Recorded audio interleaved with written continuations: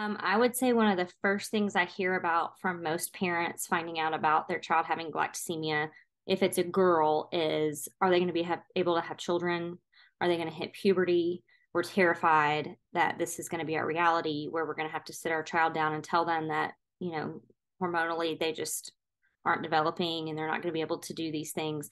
Um, I hear a lot of parents be really worried about learning um, is my child going to be able to learn? Are they going to fall behind their peers? Are they going to be ma- made fun of? Are they going to get anxiety because they can't um, communicate clearly um, or in complex sentences? And are they going to be other, you know, in an other category by the time they hit school?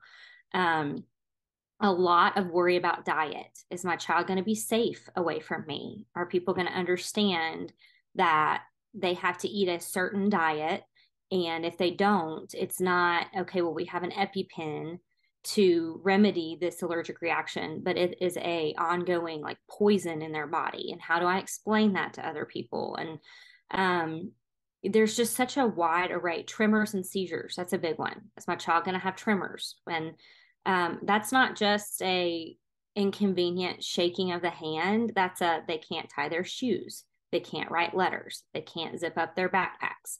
There are so many things um, with with tremor that happen early on with kids that are scary for new parents. And you know as that kid develops sometimes they do develop those things and then they come to me and say what can we do? And ultimately there's there's not much we can do. Um, we stay on diet. We refer people to um, early intervention services in every state we talk about physical therapy and occupational therapy and speech therapy and adaptive behavior therapy, all these therapies.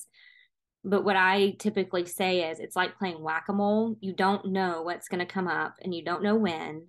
And instead of being able to deal with the mechanism of disease underneath, you're up here with a, a thing trying to hit the mole down with therapy or whatever else. But it could always pop back up or pop up somewhere else. So it's it's kind of a, a wide range of things that I hear about and help people deal with.